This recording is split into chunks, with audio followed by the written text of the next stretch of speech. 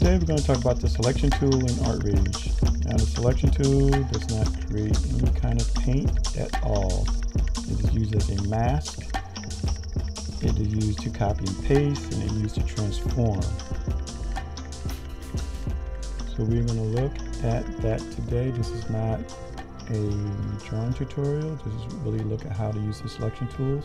So from time to time, uh, the illustration in the back is going to switch between time lapse, which is sped up, and real time. So you can see what I'm doing in real time. And it's going to be in real time when I want to look at what I use the selection tool for.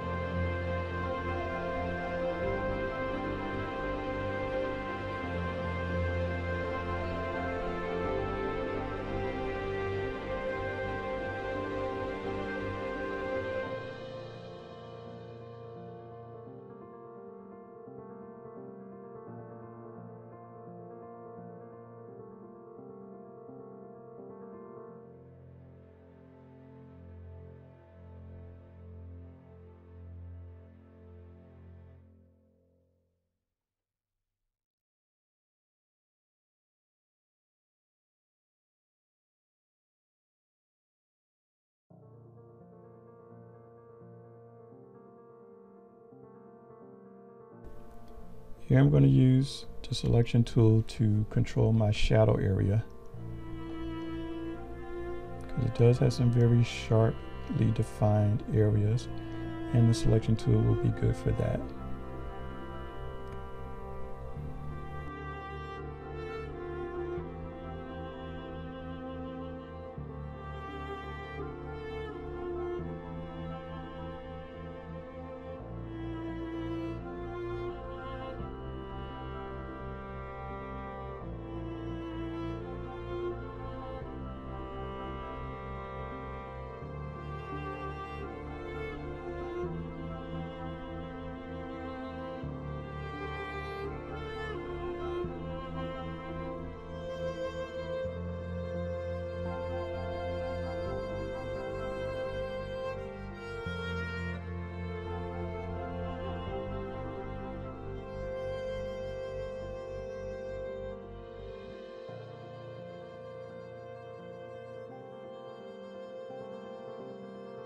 So you can see I filled in all the sharp areas and then I went back with the airbrush tool and softened one edge because shadows are a combination of hard and soft edges.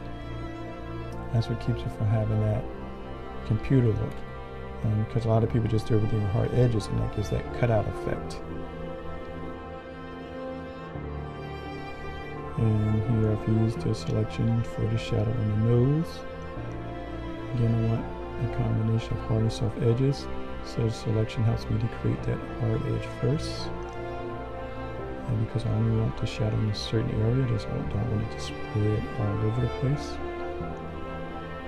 Now I want to create a shadow on the side of the face. So and also where it meets uh, the chin meets the hand, the fingers. I'm using the selection there because I want a hard edge where the fingers and the hand meet the chin.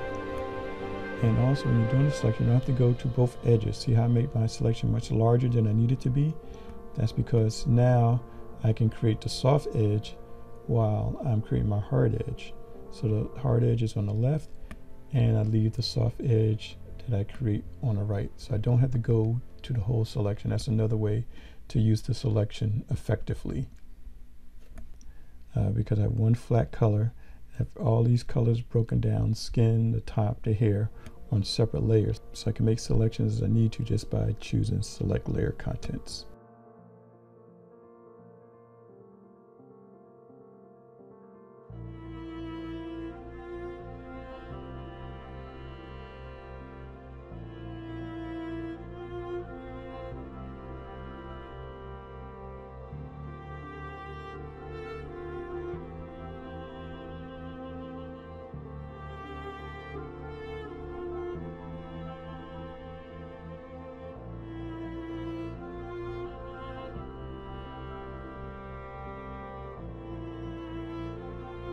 Okay, now I'm going to uh, make a selection and select the cleavage.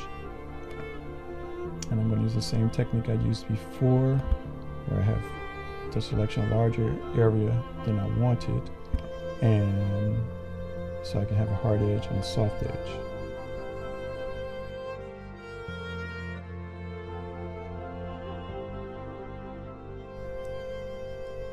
And now I'm going to choose the transform tool after I make my selection. And I'm going to rotate that and move it over. And I think that has a better look than what I had before.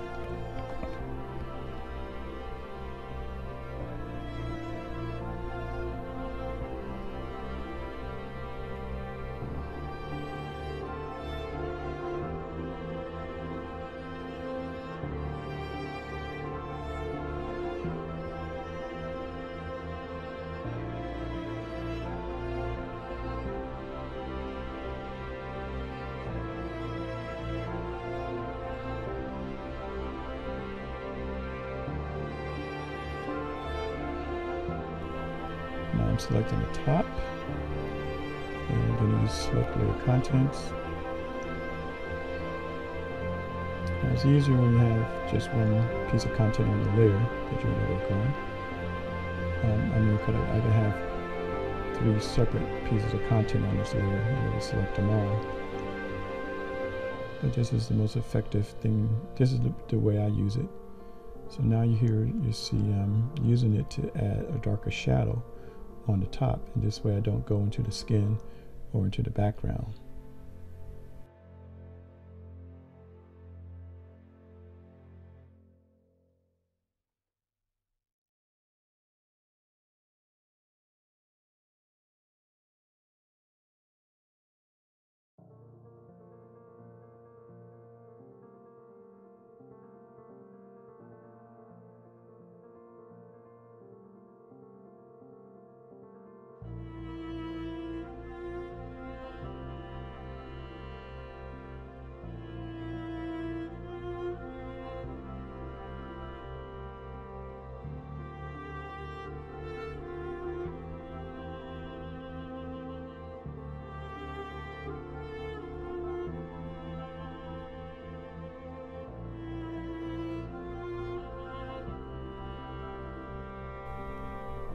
Going to do the same process again.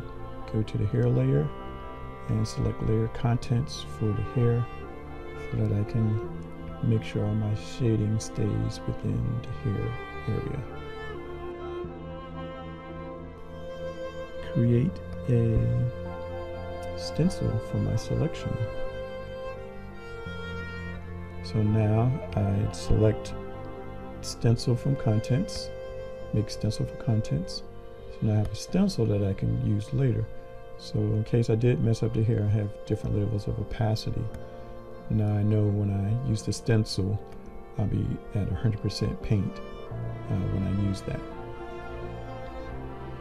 So I can call the stencil back whenever I need it.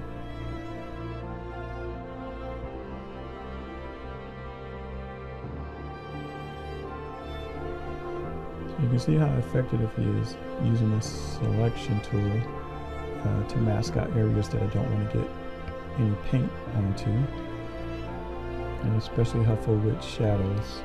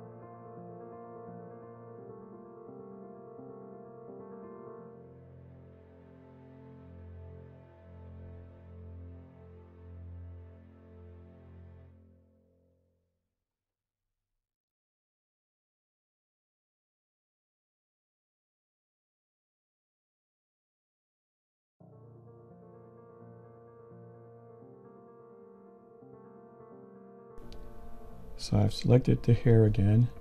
And as you can see, I've saved this toward the end specifically because I noticed it right away that I have a shadow from the arm over the hair and the hair is in front of the arm.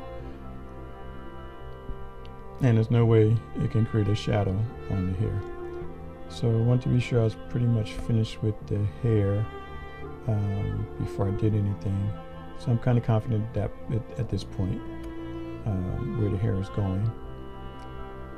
So, and I need to put a shadow on the hair down there. So I need to get rid of that shadow from the arm.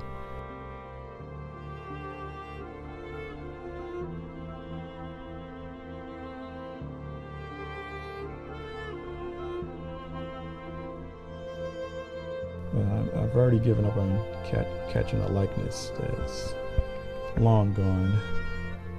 Uh, so this is really a reference photo for the skin and the shadow and the light.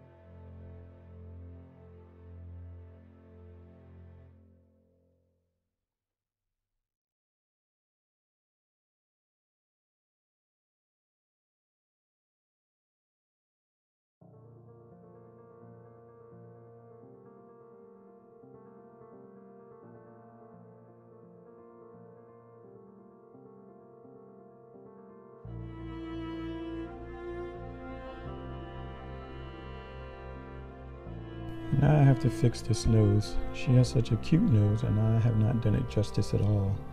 It's kind of short and stubby and hers is long and has a nice little cute upturn at the end.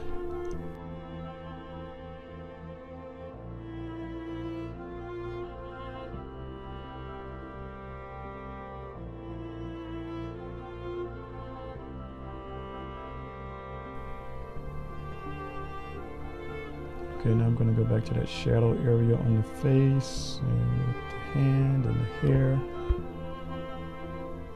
Because a lot of the drawing doesn't work without that that pose, without the where the shadow shadows meet on all those areas. So I'm trying very carefully to go where the shadows on the, is on the hair and on the hand and on the face and where they meet. Trying to be very careful about that. I don't want to go into the hand right now. I'm going to work that separately. Just to work the shadow area.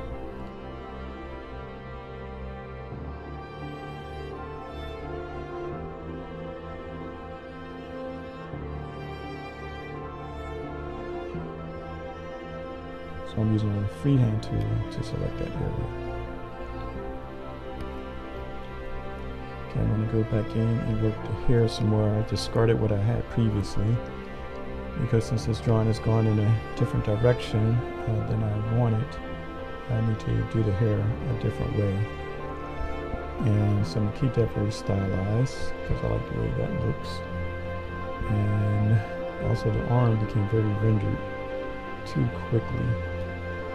So you really want to render the point of focus, and that should be the face and the, especially the eyes. And arms really drawing too much attention. So I've rendered the face a little bit more, so it brought some attention back to the face. And now with the hair, I just want to do the shadows differently.